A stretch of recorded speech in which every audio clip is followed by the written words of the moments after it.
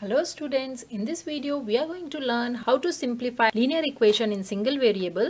We will be solving two examples in this video. So let's start with our first example. Here we have an equation x plus 11 divided by x plus 3 is equal to 7 by 3. For solving these equations we can directly use the cross multiplication method where we multiply the denominator of first fraction by the numerator of second and the denominator of second fraction by the numerator of the first fraction. So we will have 3 times x plus 11 is equal to 7 times x plus 3.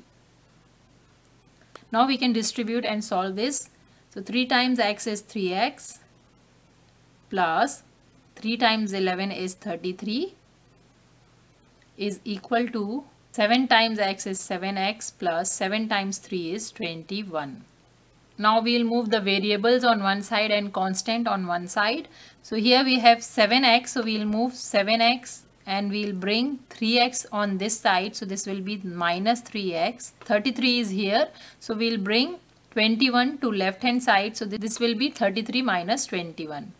So 33 minus 21 will be 12 and 7x minus 3x is 4x. Now to find the value of x, we are going to divide both the sides of the equation by 4. So this is 12 by 4 is equal to 4x divided by 4.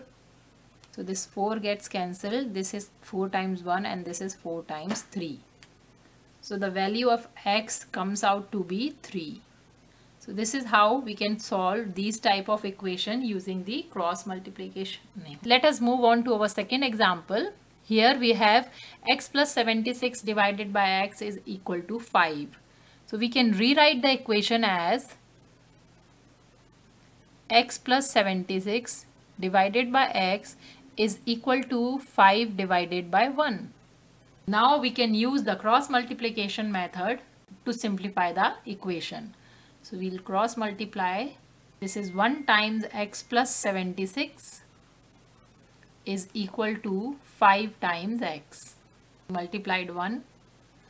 So we'll distribute. So 1 times x is x and 1 times 76 is 76 is equal to 5x. Now we'll transpose x to the right hand side. So this is 76 is equal to 5x minus x. Now 5x minus x is 4x is equal to 76. For finding the value of x, we'll divide both the sides by 4. So 4x divided by 4 is equal to 76 divided by 4. So these two 4 gets cancelled. 4 times 1 and 4 times 1 and 4 times 9. So the value of x is equal to 19. So this is how you can simplify the linear equation in single variable of this kind. I hope this video is helpful to you. If you like the video, please hit the like button and subscribe to my channel for more math videos. Thanks for watching.